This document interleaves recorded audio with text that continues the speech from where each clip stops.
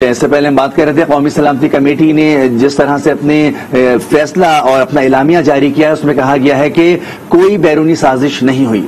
اور قومی سلامتی کمیٹی کے اجلاس میں اس اہم اعلامیے پر ہی گفتگو کی جاری ہے۔ اعلامیے کے مطابق ٹیلی گرام میں کسی سازش کے ثبوت نہیں ملے۔ سیکیورٹی ایجنسیز نے سازش کے ثبوت نہ ملنے سے آگاہ بھی کر دیا ہے، جبکہ سابق سفیر اسد مجید نے خط کے مواد اور پس منظر پر بریفنگ دی ہے۔ بتایا ہے کہ کوئی بیرونی سازش نہیں ہوئی ہے۔ نوید اکبر ہمارے نمائندے ہمارے ساتھ موجود ہیں۔ نوید اکبر اس بات کو دیکھیں ایک تیسرے ذرائع سے۔ اگر ہم پہلے سب سے پہلے دیکھیں جب عمران خان صاحب حکومت میں تھے، تو سب سے پہلے امریکہ نے اس کو رد کیا۔ اس کے بعد آئی ایس پی آر نے اس کی تردید کر دی۔ اور اب ہم دیکھ رہے ہیں کہ قومی سلامتی کے اس اجلاس میں اعلامیہ سامنے آ گیا ہے، جس میں خود اسد مجید بھی موجود ہیں۔ اور وہ کہہ رہے ہیں کہ کوئی ایسی سازش سامنے نہیں آئی، کوئی ثبوت سامنے نہیں آئے ہیں۔ تو کیا مزید آپ کے پاس اس بارے میں تفصیلات ہیں؟ جی بالکل، آپ درست فرما رہے ہیں کہ پہلے امریکہ کی طرف سے اس کی وضاحت آئی تھی کہ ڈونلڈ لو نے جو ان کے سیکرٹری آف اسٹیٹ ہے ایسی کوئی دھمکی نہیں دی اس طرح کی کوئی بات نہیں کی۔ اس کے بعد D G I, S C R, میرے جنرل بابر افتخار نے جب پریس کانفرنس کی تھی، انہوں نے بڑا واضح کہا تھا کہ کوئی فارن کانسپائریسی جو ہے نہیں ہوئی۔ اور آج جو قومی اسلامتی کمیٹی کا اجلاس ہوا ہے اور اس کا جو اعلامیہ سامنے آیا ہے، وہ بھی بڑا واضح ہے۔ وزیر شہباز شریف کی صدارت میں اس اجلاس میں تینوں مسلح افواج کے سبراہان جی chairman joint chief of staff committee دفاع خارجہ داخلہ اور اطلاعات کے وزراء نے شرکت کی تھی اور امریکہ میں جو پاکستان کے سابق سفیر تھے اسم جی جنہوں نے یہ کیبل یہ سائفر لکھی تھی جس کے حوالے سے سارا جو ہے، جس کو خط گیٹ، لیٹر گیٹ کہتے ہیں، یہ سارا معاملہ سامنے آیا۔ اسم جی بھی اجلاس میں موجود تھے اسم جی نے اجلاس کو ٹیلی گرام کے مواد اور پس منظر کے حوالے سے تفصیلی بریفنگ دی اور اس موقع پر قومی سلامتی کمیٹی کے جو اجلاس ہے، اس کی منٹس کی بھی توثیق کی گئی ہے۔ لابی میں یہ بھی کہا گیا کہ ٹیلی گرام میں کسی سازش کے ثبوت نہیں ملے۔ اس کے ساتھ یہ بھی کہا گیا کہ سیکورٹی ایجنسی نے قومی سلامتی کمیٹی کو آگاہ کیا ہے کہ سازش کے کوئی ثبوت نہیں ہے اور کسی قسم کی کوئی سازش نہیں ہوئی۔ ساتھ یہ بھی کہا گیا ہے کہ سفیر کی بریفنگ اور سیکورٹی ایجنسی کی معلومات کے مطابق کوئی بیرونی سازش نہیں ہوئی۔ تو اس طرح سے یہ جو بیانیہ ایک بیرونی سازش کا تھا وہ بالکل آج ختم ہو گیا ہے اور نیشنل سیکورٹی کمیٹی نے یہ واضح کر دیا کہ ایسا کوئی بیانیہ کوئی ایسی کوئی چیز نہیں ہے کیونکہ اس میں chairman joint chief of staff committee کے علاوہ مسلح فاق کے سربراہان اور انٹیلیجنس ایجنسی کے سربراہان بھی شریک ہوتے ہیں اور متعلقہ فاقی سے سیکٹری بھی ہوتے ہیں۔ تو سارا معاملہ جو کھل کر سامنے آ گیا ہے اور اب لگتا ہے کہ یہ معاملہ جو ہے اس کو اب ختم ہو جائے گا۔ سارا سارا معاملہ کھل کر سامنے آ گیا۔ شوکت پراچا صاحب ایک اور ذرائع سے اس کی تصدیق ہو گئی اور اب تو اس قدر اس کی تصدیق ہو گئی کہ اسد مجید بھی موجود ہیں اور کہہ رہے ہیں کہ کوئی سازش نہیں ہوئی۔ دیکھیے جب یہ معاملہ بڑا تھا تو آپ ہی کے ساتھ میں اس دن بھی کہہ رہا جی۔ تھا کہ یہ ٹیلی گرام ہوگا۔ پروبیبلی جو امبیسڈر نے بھیجا ہوگا اور آج نیشنل سیکیورٹی کمیٹی نے کہہ دیا کہ یہ ٹیلی گرام تھا دوسری بات جو اس اس پریس ریلیز میں لکھی ہوئی ہے کہ سفیر صاحب نے کانٹیکٹ جو ملاقات کا کانٹیکٹ تھا اس ٹیلی گرام کا اور کانٹینٹ دونوں پہ بریفنگ دی۔ اب کانٹیکس جو ہوتا ہے اسے کہتے ہیں سیاق و سباق۔ یعنی سیاق و سباق کا مطلب ہے کہ جو ہمارے سفیر صاحب نے assistant secretary of state Donald Lu کی بات کو سمجھا تو انہوں نے وہ کانٹیکس دے دیا اٹ مینس کہ سفیر صاحب نے اس ٹیلی گراف میں اپنی جو تشریح کی ڈونلڈ لو کی بات چیت کی وہ بھی لکھ دی تو یہ بڑی امپورٹنٹ چیز ہے اس پریس ریلیز میں اگر امبیسڈر صاحب کی وہ جو اسیسمنٹ ہے وہ بھی بھیج دی جاتی ہے اس پریس ریلیز میں لکھ دیا جاتا کہ یہ پرٹیکولر کامنٹ تھا جس کو اس پریس ریلیز میں کانٹیکسٹ کہا جا رہا ہے وہ پورا اگر سیاق و سباق ہم بھی سمجھ لیتے قوم بھی سمجھ لیتی کیونکہ جب اس پریس ریلیز میں کہا گیا کہ پچھلی جو نیشنل سیکیورٹی کمیٹی کا اجلاس تھا اس کو اس کے فیصلوں کی توثیق کی گئی ہے تو کیا پھر وہ جو ویلنٹینٹ فورن انٹروینشن تھی اس کو بھی تو تسلیم کیا گیا ہے۔ اور پی ٹی آئی یہی کہتی ہے کہ ہمارے معاملات میں مداخلت کی گئی ہے۔ اور شاہ محمود قریشی صاحب ابھی کچھ وقت میں وہ بھی پریس کانفرنس کریں گے اور موسٹ پرویبلی وہ اسی بات کو ہی آگے بڑھائیں گے کہ جو پچھلے اجلاس میں فیصلے ہوئے تھے، حالانکہ اس اجلاس میں جو اکتیس مارچ کو ہوا تھا، وزیر خارجہ ہی نہیں تھے اس اجلاس میں، کیونکہ وہ چین گئے ہوئے تھے۔ یعنی ایک بیرونی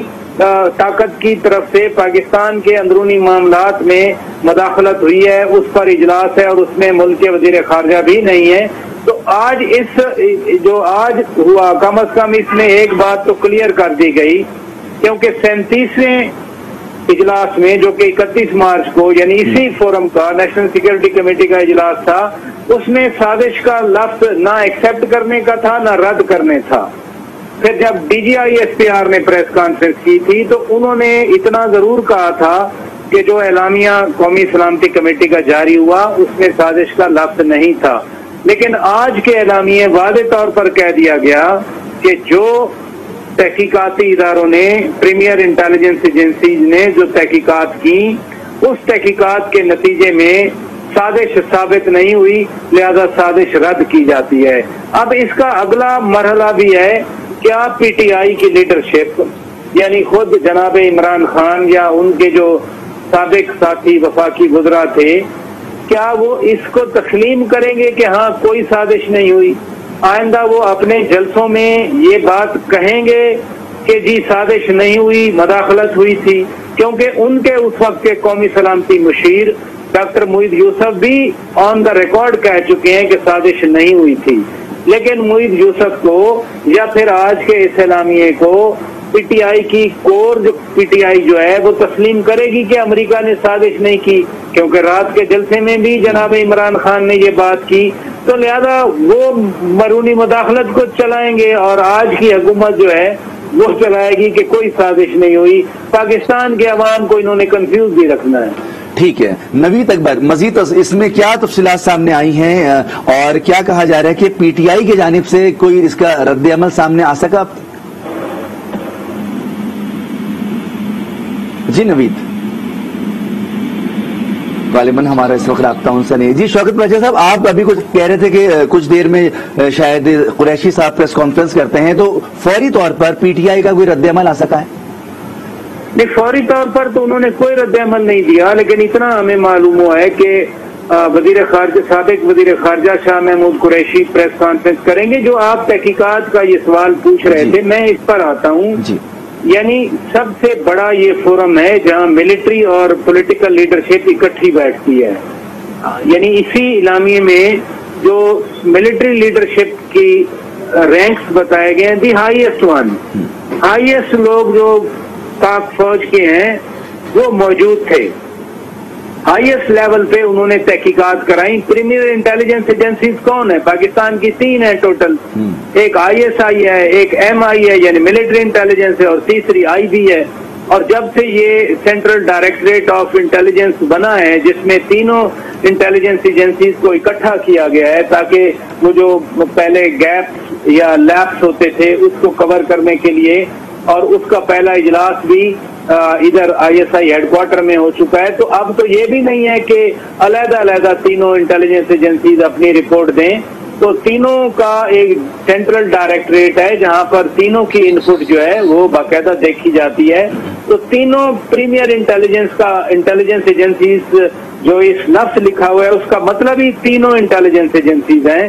میں ریپیٹ کر دیتا ہوں جس میں انٹرسل انٹیلیجنس یعنی آئی ایس آئی ہے جس میں M I main military intelligence ہے اور جس میں آئی مین I B main intelligence bureau ہے۔ اب ان تینوں کا جو کام ہے وہ اکٹھا ہے۔ Under the central directorate of intelligence ٹھیک ہے؟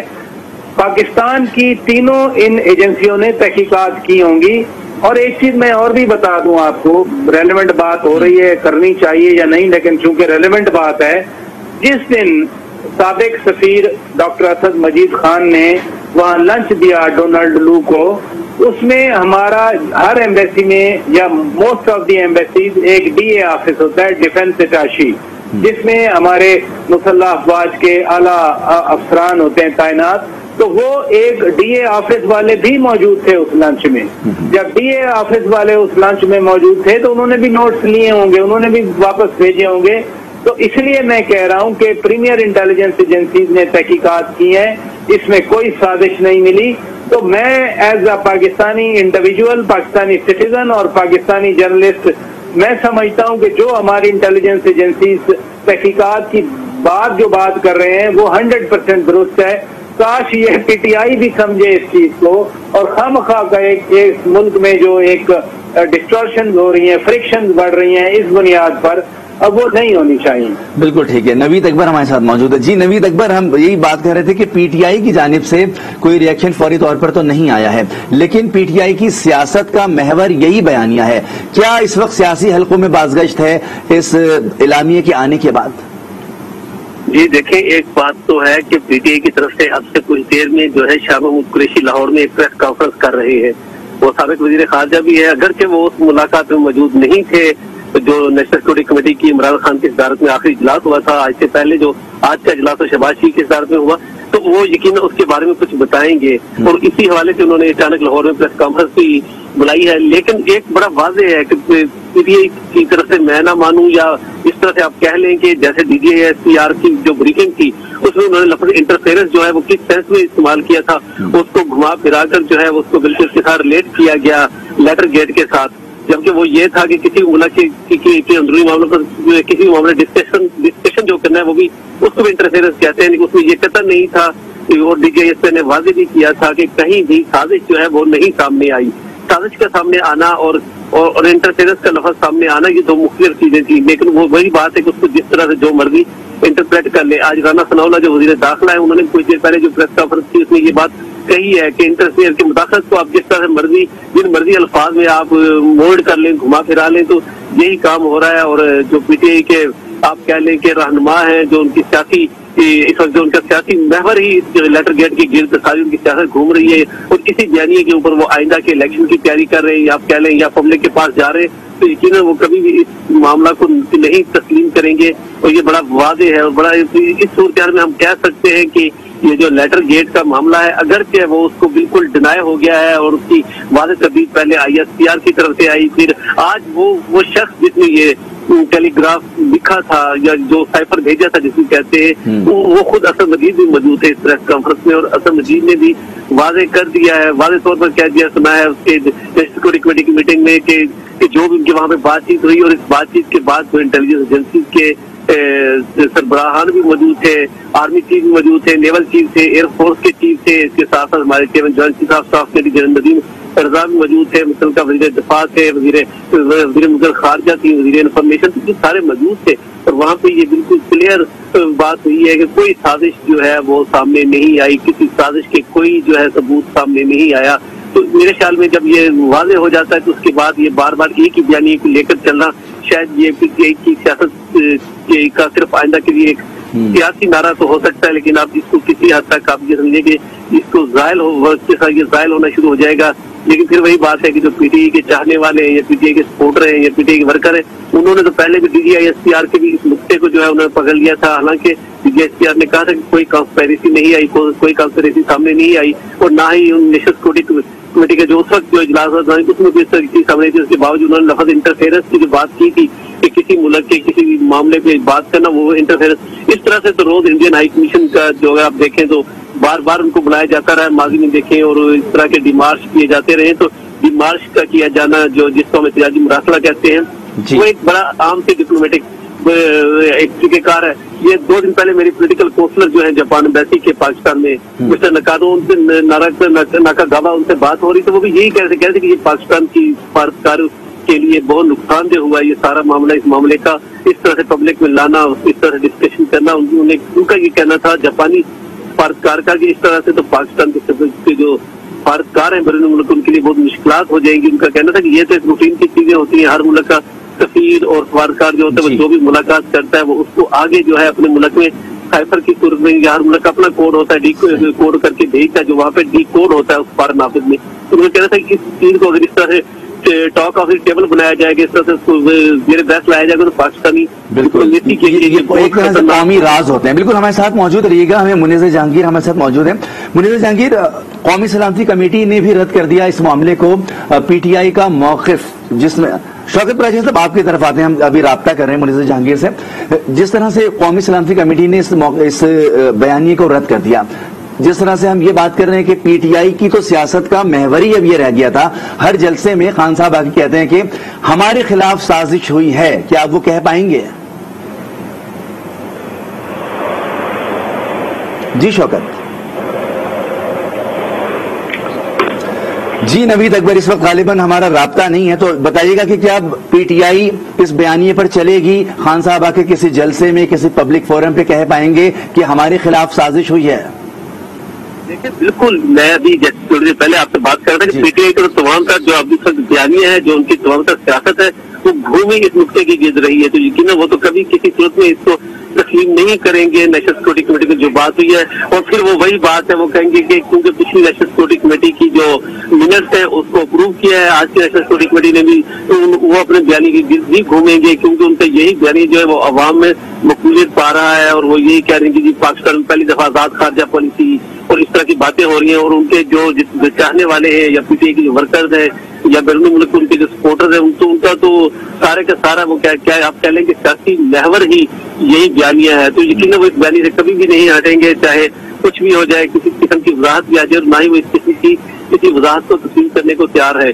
لیکن یقیناً جو غیر جانبدار حلقے ہیں جو جن کی سیاست جو ہے، وہ نہ وہ پی ٹی آئی کے حامی ہے، نہ وہ نون لیگ کے حامی ہے، یا وہ نہ وہ تو یہی سمجھیں گے کہ جو نیشنل سیکورٹی کمیٹی نے کہا گیا ہے، جو D B I, C R نے کہا گیا، وہی سچ ہے، کیونکہ وہی وہ بیانیہ ہے جو پاکستان کے سیکورٹی کے ادارے دے رہے ہیں، جو پاکستان کے جو اعلیٰ ترین ادارے ان کا جو بیانیہ ہے وہ وہ یہ ہے تو یہی بیانیہ آگے چلنا چاہیے لیکن آپ کو پتا ہے کہ سیاست بالکل مشکل چیز ہوتی ہے ایک خط نکالا پرائم سابق پرائم منسٹر اپنی جیل سے اور خط نکال کے انہوں نے کہا کہ یہ سادہ یہ امریکہ سے خط آیا ہے اور یہ وہ یہ تو بعد میں جب وقت کے ساتھ ساتھ پتہ چلا کہ پاکستان کی وہاں پہ سفیر تھے اصل جن کو بعد میں تبدیل کر کے برسلز میں اور زیادہ امپورٹنٹ جگہ پہ لگا دیا گیا سفیر۔ اور وہاں پہ مسعود خان جو سابق آزاد کشمیر میں صدر تھے آزاد کشمیر ان کو میں پاکستان کا تعینات کیا گیا تو وہ اصل نجیب کا یہ ایک ڈپلومیٹک جو ہے سفارتی کیبل تھی سفارتی جو ٹیلی گراف تھا جس کو ٹیلی گرام تھا جس کو تبدیل کر کے تو آپ کے سامنے کہ اس کو کس طرح سے ایک بیانیہ